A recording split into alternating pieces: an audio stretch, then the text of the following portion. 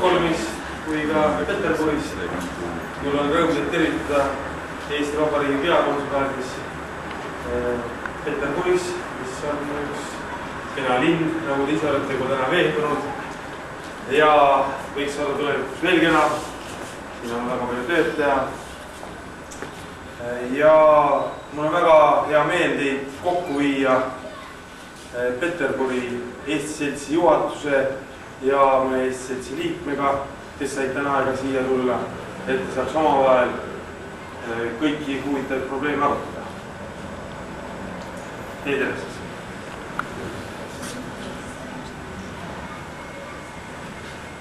nüüd tahaks anda sõna äh, härra Jaan Mandrile, kes on Peterburi Eesti Kultuuriseltsi juhatuse esimees äh,. Tervituseks. lugupeetavad daamid ja härrad, kallid külalised, auväärt Rootsimaa. mul on rõõm tervitada teid Peterburi Eesti Kultuuriseltsi Estonia nimel me juba ammu igatsusega ootasime teid, sellepärast et meil on siiani meeles need imetoredad päevad, mis me veetsime Esto üheksakümne kuue ajal koos teiega Stockholmis. Iga külaskäik meil siin kaugel Venemaal on hindamatu väärtusega. selleks, et eestlus säiluks, on vaja, et oleksid tihedad sidemed nii kodu-Eestiga kui ka kõigi eestlastega, kes elavad väljaspool Eestimaad. ja sellepärast tahaksime, et te tulevikus tuleksite meile jälle külla, olete alati siin oodatud. ja kahju on, et seekord on niivõrd vähe aega, et me ei saa organiseerida kohtumist kogu Eesti seltsiga. selts on meil küllaltki suur. praegu on juba peaaegu kuussada inimest seltsis ja loodame, et ta tulevikus kasvab veelgi, sellepärast et Peterburis elab ametlikel andmetel neli tuhat kuussada eestlast.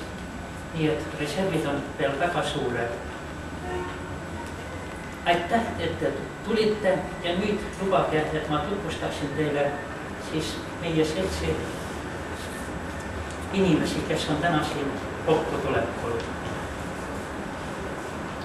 seal Atre palun natuke väljapoole meie pühapäevakooli õpetaja proua Katre Grigorjeva õpetab eesti lapsi eesti keelt neile.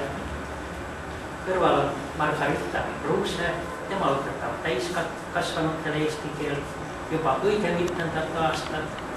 siis Eesti koguduse esimees härra Georg Rosenberg, paljudele juba arvatavasti tuttav estopäevadest onkoloogia instituudi direktor härra Kaido Hanson, meie kõige kuulsam arstidest. seltsi juhatuse esimees härra Nikolai Veits. nii, ja seltsi sekretär härra Mihkel Stokalenko. ja oh, me oleme juba tuttavad. Teie olete jah juba tuttavad, aga igaks juhuks ma kordan veel. Eesti kooliõpetaja LydiaJestikneeva töötab kah juba algusest peale ja töötab väga tublilt, nagu praegu töötavad kõik eesti keele õpetajad Peterburis. kindlasti tulete jälle ja ootame, et teil järgmine kord oleks rohkem aega.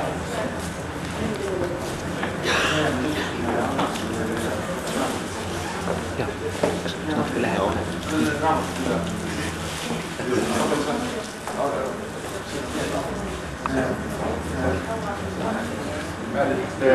ja kallid eestlased, väliseestlased Rootsist ja, ja eriti muidugi Venemaalt, kallid kodueestlaste esindajad.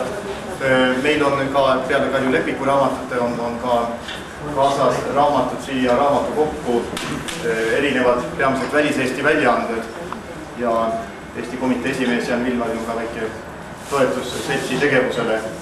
me loodame, et saame Eesti Seltsi siin innustada edasises tegevuses.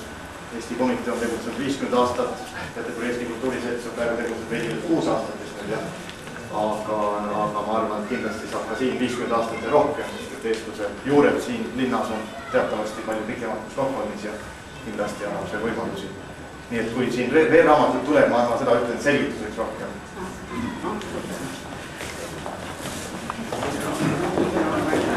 ja, raamatud tuleb veel.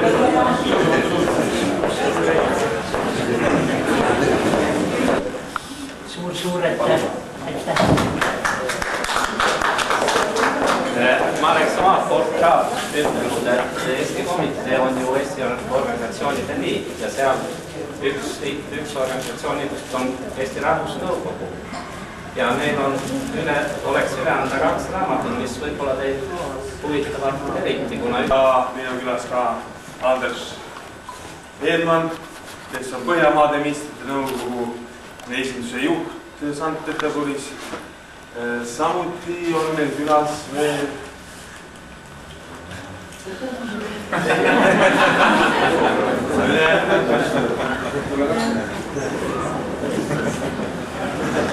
võib-olla peaks tutvustama oma poega Hartit veel ja oma abikaasat Kaiet, kes on siin ja meie peakonsulaadi konsulit Külli Tulikut, kes asub seal, on saalis.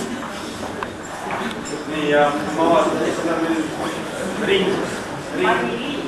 Ja Mari-Liin on kõik, ma näen. ja puudub veel mu vanem tütar, kes äh, ei äh, saanud siia tulla praegu. ja väga elav noorem poeg noorem poeg, ei, noorem on tütar. ei, üks pisikene oli seal. ei, aga ta on siin. See on tütar. Nad on täiesti ilusad tütred.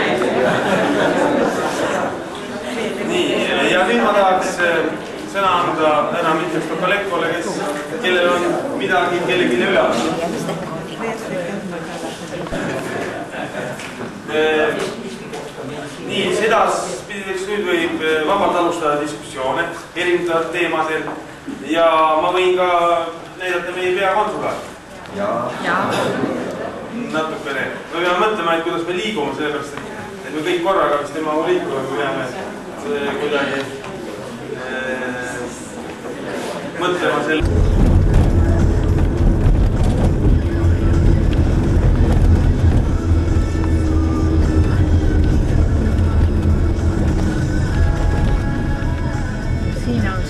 See nagu Pariisi võiduvärav, see ei ole see, see Na- Narva värav on Moskva väravad. see on Moskva. Narva väravad jäävad vot sinna ja seal on see ettepoole. ja, ja no see on Moskva, mida ma ei näe.